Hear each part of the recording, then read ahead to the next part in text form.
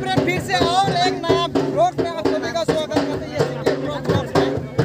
अभी आप, मैं आप लोगों को दिखाने वाला हूँ जो कि यहाँ पूरा रैली खत्म होने के बाद फिर से हम लोग यहाँ पर मतलब अखड़ा क्या है? वो अखड़ा हम लोगों को दिखाने के लिए मतलब झूमर नाचने वाले तो वही झूमर हम लोग कैसे हम लोग नाचते, कैसे एंजॉय करते, वही एंजॉय आप लोग देख रहे आप लोगों के साथ बढ़ना चाहते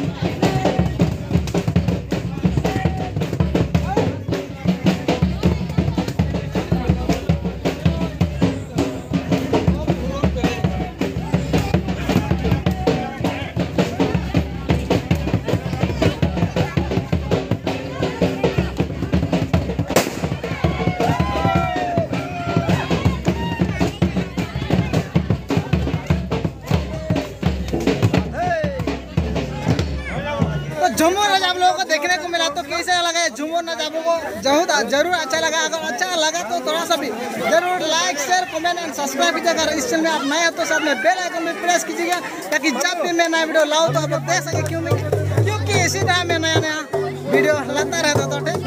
ये वीडियो देखने के लिए बाय बाय